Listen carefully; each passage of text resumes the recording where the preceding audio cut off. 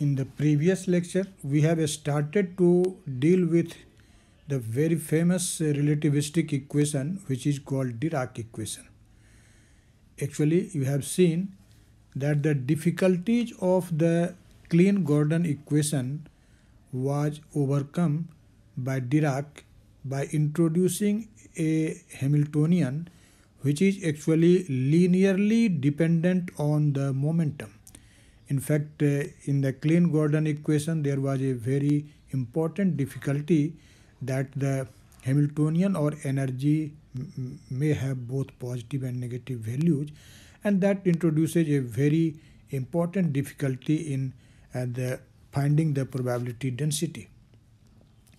So to rectify that problem, Dirac uh, uh, introduced a Hamiltonian which was actually linearly dependent upon the momentum. And for that, Dirac postulated that the Hamiltonian uh, may be uh, written as C times alpha dot P plus beta mc square. Actually here, uh, this alpha hat and beta hat are the operators used by Dirac in a historical pathway. Okay. In fact, uh, in this equation you can see that the Hamiltonian is linearly dependent on the momentum vector. And uh, when uh, Dirac postulated this Hamiltonian, the problem of uh, uh, Klein-Gordon equation was overcome. Okay. And uh, introducing this Hamiltonian, Dirac obtained the a relativistic equation and that equation was nothing. That was simply the Schrodinger time dependent equation in which the Hamiltonian is replaced by this expression defined in equation A which is actually called Dirac Hamiltonian okay? And so you have seen in the previous lecture that Dirac equation is written in this form I h bar del psi of RT del T equal to minus i h bar c alpha dot del psi of rt plus beta mc square psi of rt. This is nothing, this is simply uh, i h bar del psi by del t equal to h psi. Okay. Now this equation can be written in this manner. When you will take this term in LHS, in RHS, then what will be the result? You can see that this may be written as minus i h bar del del t minus i h bar c alpha dot del plus beta mc square psi of rt equal to 0 okay. And uh, in uh, another form this equation is equivalently written like this. This is minus i h bar del del t minus i h bar c summation over k from 1 to 3 alpha k del del x k.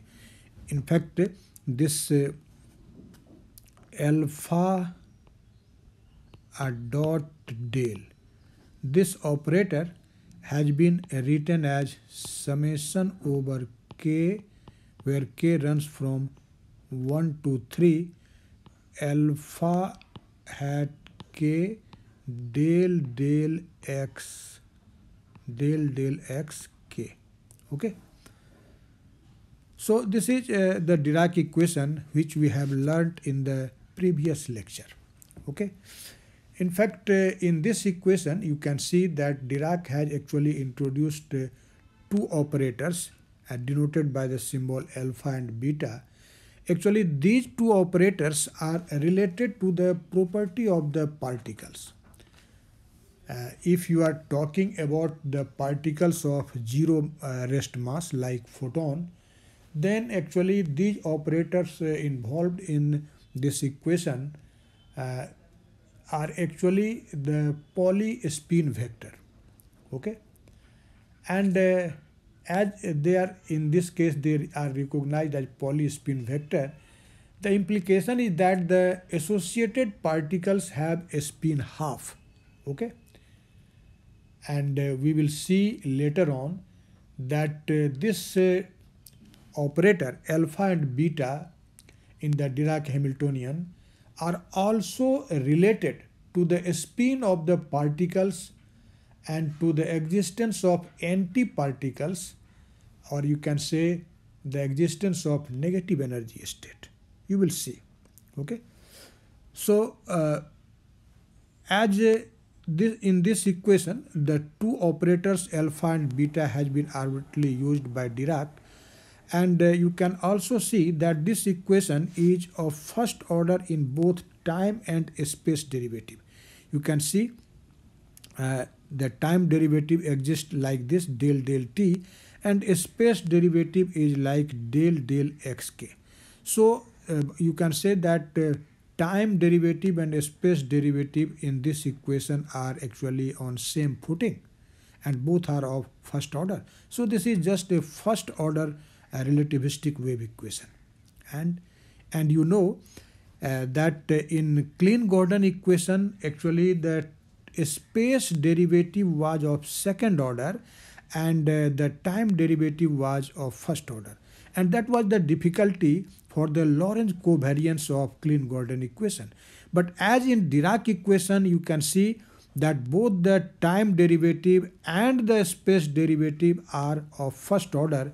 So uh, it will be it can be easily said that this Dirac equation will be covariant under Lorentz transformation. So this uh, Dirac equation is a Lorentz covariant. We can easily point out it. Okay. Again, uh, it is found, and I have actually explained in the previous lecture too, that uh, these two operators, alpha and beta, alpha and beta, both of these operators are independent of a space coordinate and time coordinate. Both are independent. Okay.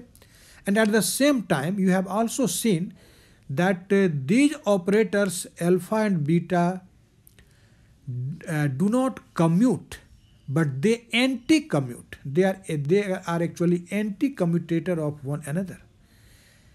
And due to these two facts what are those, these two facts? The first one is that alpha and beta operators are independent of space and time coordinate.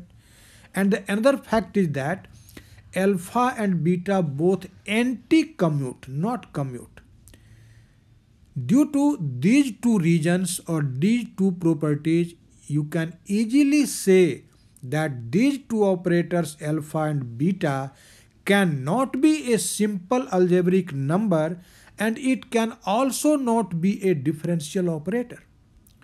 So uh, uh it can be said certainly that the operators alpha and beta uh, found in this Dirac Hamiltonian are neither algebraic numbers and nor they are uh, differential operators. So what are these? So then uh, only one option remains left. And what is that option? In fact, in this condition, these two operators must be matrices. Must be matrices.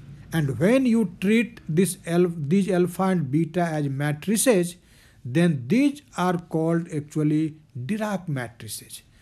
And then so now our aim is to express this Dirac equation in terms of the uh, Dirac matrices. Okay. And uh, then you will see that you will get a, a covariant form of Dirac equation or you can say that the four vector form of Dirac equation. So uh, in this is just a, this lecture is just a continuation of the first lecture. When in your in your examination, if you are asked that uh, uh, derive the Dirac uh, relativistic equation, then uh, apart from the matters in first lecture, you have also write the matters in this uh, second lecture. Only uh, the fact which I have mentioned here that results of previous lecture this should be not mentioned in your answer. But uh, starting from here uh, where I have mentioned covariant form of Dirac equation you have to add this portion of discussion also in your answer when uh, Dirac equation is to be derived.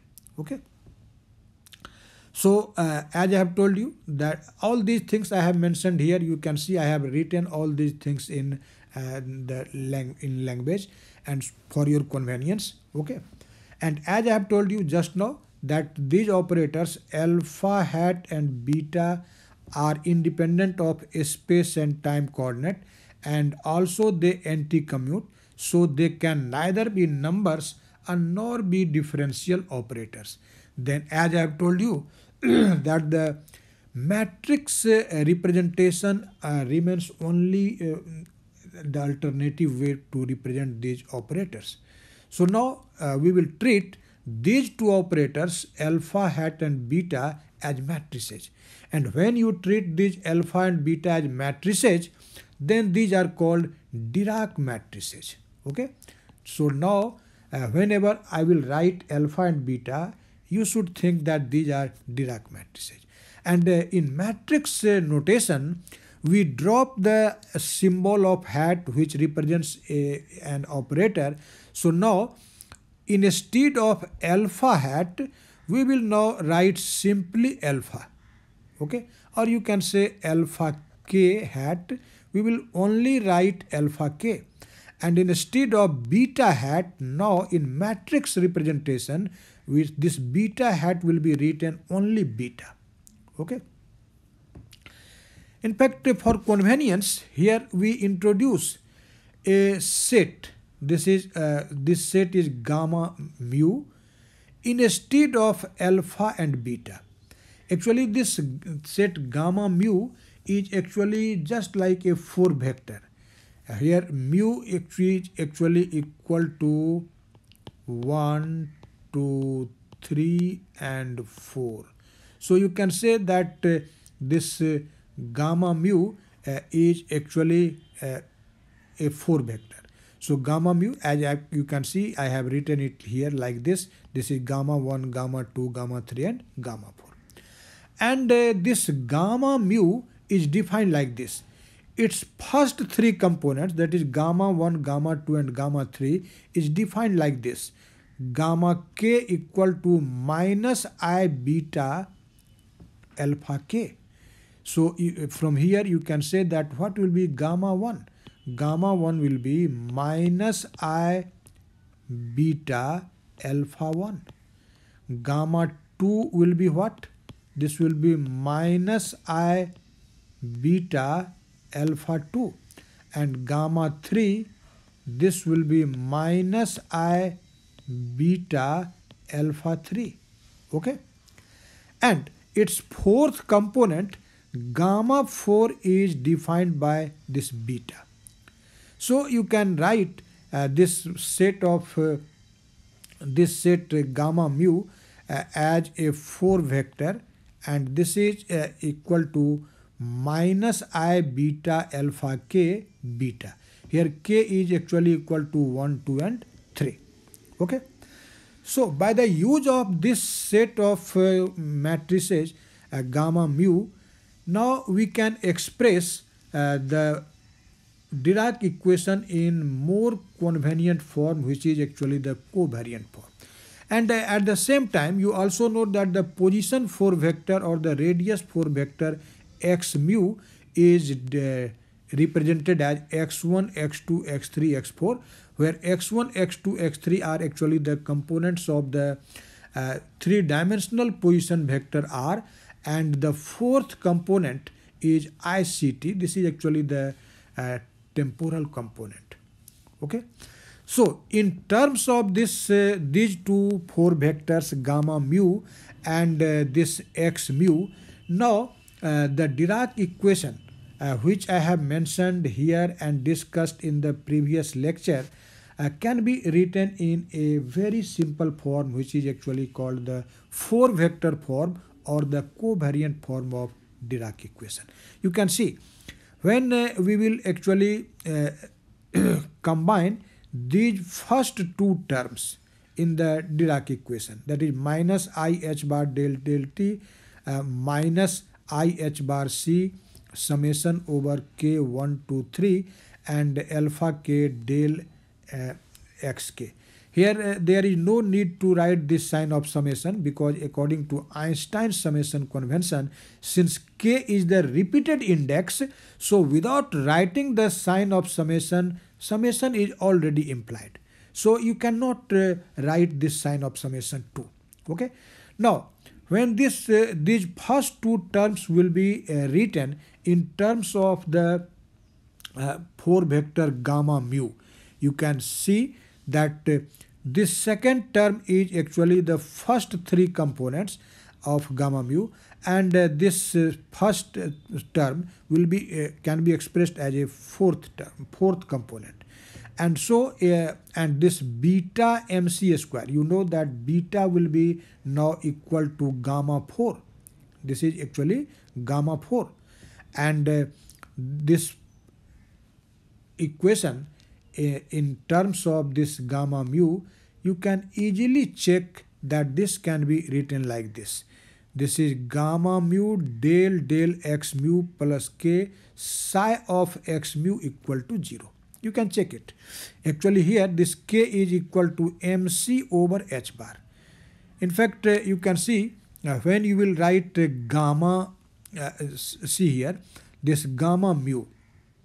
Gamma mu you know uh, this gamma mu, mu is equal to actually equal to 1 to 4 so this will be gamma 1 del del x1 okay and plus gamma 2 del del x2 okay plus gamma 3 del del x3 and plus gamma mu uh, sorry gamma 4 del del x4 and you can check x1 x2 x3 these are simply x1 x2 x3 but x4 means ict okay and gamma 4 gamma 4 means beta and gamma 1 gamma 2 gamma 3 are what you can see gamma 1 gamma 2 gamma 3 are these much okay so uh,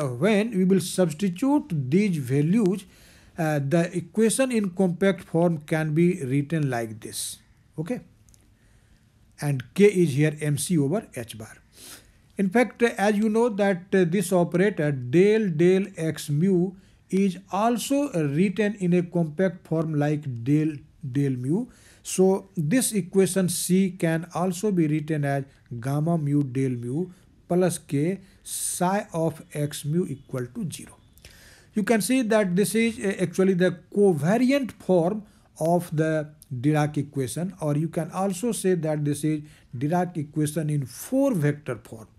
Here this gamma mu are actually the 4 matrices and these are Dirac matrices. Okay.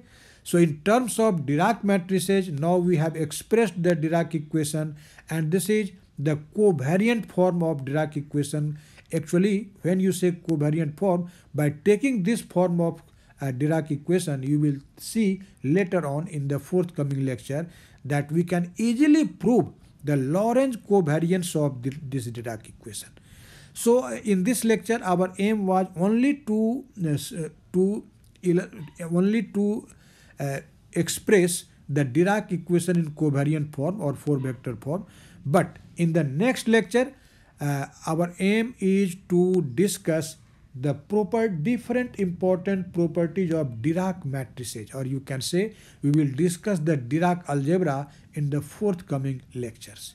So again I am telling you when in your examination it is asked that uh, uh, write uh, the Dirac equation or derive the Dirac equation you have to write the answer by combining my first video on Dirac equation and this video on Dirac equation.